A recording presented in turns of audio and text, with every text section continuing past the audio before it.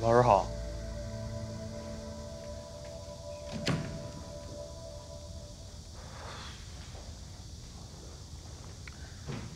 主任，我有事跟您说。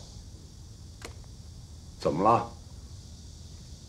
美术比赛我不想参加了。不参加了？为什么呀？我状态不好，我参加了也拿不到名次，所以。可是美术老师跟我说，你这次比赛画的很好啊，只要正常发挥，就能替学校争取不错的名次，而且艺考方面还能加分，这是多好的机会！主任，喂，谁找我？邓宇妈妈。蔡主任，蔡主任，不好意思，我来给邓宇请个假，我要带他去趟医院。去医院？呃，邓宇怎么了？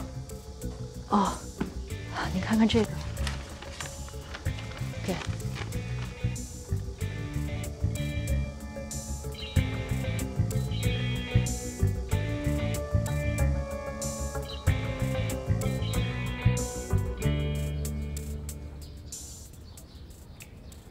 清楚了吗？你没说什么？我说去医院检查。医院？去医院检查。再听听，再听听。我问过医院的朋友了，那个医生告诉我说，这个病它会影响审美，如果严重的话，你以后就再也不能画画了。蔡主任，您看，现在不是快艺考了吗？如果孩子真的有问题的话，我们做家长的也好提前做打算，不是吗？应该的。这样，邓宇妈妈，您先别着急，来这边坐。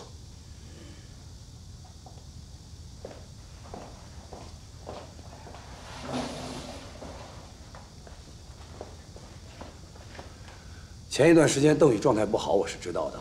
我和他的爸爸也聊过这个事情。你和他爸爸聊过？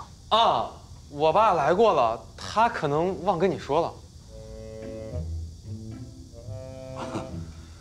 跟谁说的不重要啊，主要是邓宇才刚刚入围了美术比赛，我在想他是不是恢复了呢？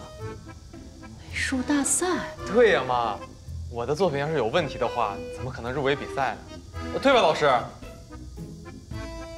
这都什么时候的事儿啊！我怎么一个都不知道啊？就前几天的事儿。这孩子怎么什么都不跟父母说呢？啊，我之前医院检查都是一个月之前了，我就怕您担心，没敢告诉你。我现在都好多了，您可不能因为这个不让我参加比赛。啊，是啊，邓宇妈妈，美术老师呢不止一次的和我说过，邓宇是他带过的最有才华的学生。所以呢，在艺考这方面，还是希望你们能够慎重的考虑一下。啊，当然，如果他真的是有什么审美障碍的话，咱们也要早做打算。毕竟考生的考试方向还是需要你们家长来决定的。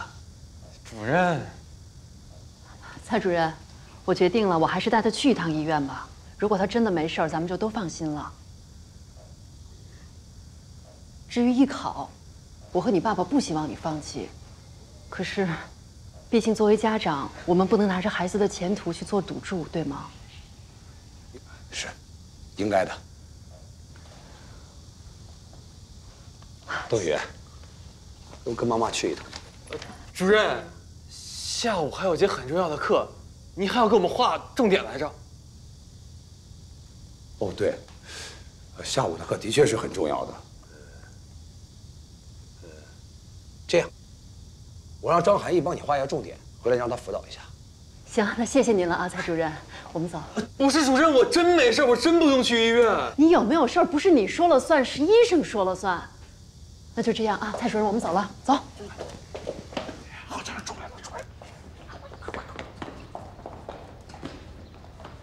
走。妈，我们就去做个小检查，用不了多长时间，不用。阿姨，这马上邓宇就上课了，你带他去哪儿啊？啊，对啊，阿姨，宇哥犯了什么错？你告诉我们，我们替你收拾他。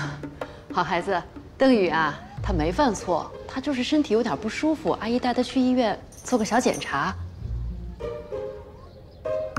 哦，那个我听老师说，是不是你们下午的课还挺重要的？嗯，哦，那就麻烦你们帮他做好笔记，谢谢你们了啊。